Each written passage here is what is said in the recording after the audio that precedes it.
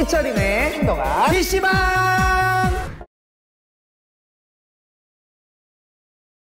너 가위바위보 잘해요? 와, 자, 못해요. 가위바위보? 자 가위바위보! 가위바위보. 가위바위보! 가위바위보! 가위바위보!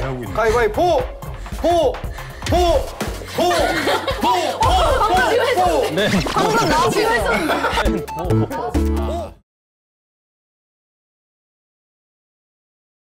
컴퓨터 싹 바뀌었다 이야, 어? 야, 이건 뭐야? 야 이거 레노버 야 최신 사양이 탑재된 9세대 인텔 코어 i7 9700 프로세서 탑재. 와 오케이 자, 자, 기다려. 자 레노버 시작 레노버 자 뭐예요? 9세대 인텔 코어 아니, 하영아, 이거 한 번만 읽어주면 돼. 자, 한 번, 한번 위에서부터 읽어, 쭉한 번 읽어줘. 시작. 시작. 9세대 인텔 코어 i7 9700 프로세서 탑재. 오.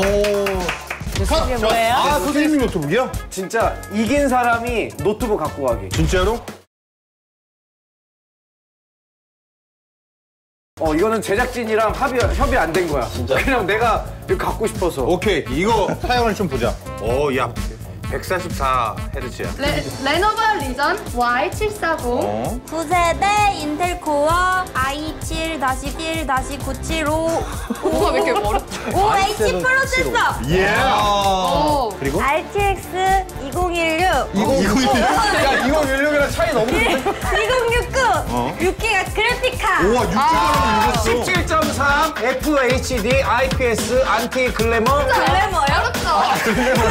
안티 글래머. 아주 좋은 컴퓨터도 사시고 그러시면 될 것 같아요. 자 주소. Www.